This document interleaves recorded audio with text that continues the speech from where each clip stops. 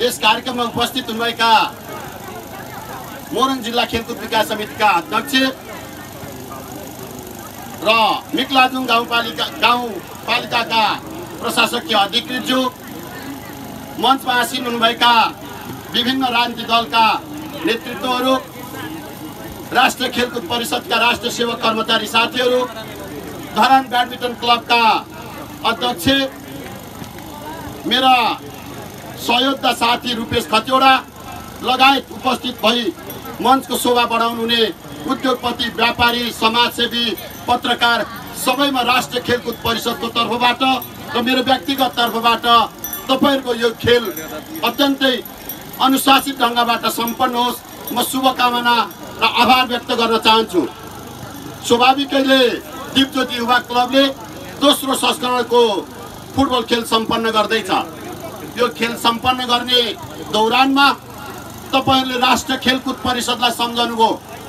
यो नेपथ्यमा आएर राष्ट्रिय खेलकुद परिषदको उपाध्यक्षको तर्फबाट मेरा र हाम्रा नौजवान खेलाडीहरूलाई मैले शुभकामना व्यक्त गर्ने अवसर प्राप्त गरेँ।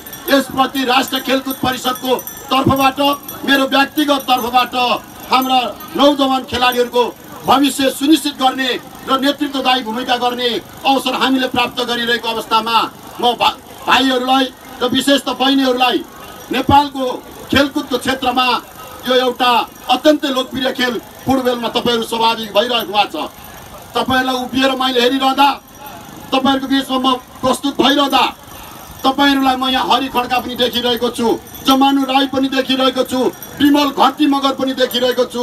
यो स्कुल लेभलबाट खेलेर आएर तपाईँले भोलिको राष्ट्रिय स्तरको नेतृत्वदायी भूमिकामा र फुटबलमा प्रस्तुत हुने अवसर प्राप्त गर्दै हुनुहुन्छ। यसको निम्ति दिपज्योति युवा क्लबले जुन यहाँभित्र रहेका मावि स्तरका सम्पूर्ण स्कुलहरूलाई सहभागी बनाएर खेलकुदको एउटा माहौल सिर्जना गर्दै हुन्छ त्यसको निम्ति म खेलकुद परिषदको तर्फबाट पुनः एकपटक तपाईँहरूलाई शुभकामना दिन चाहन्छु बधाई दिन चाहन्छु।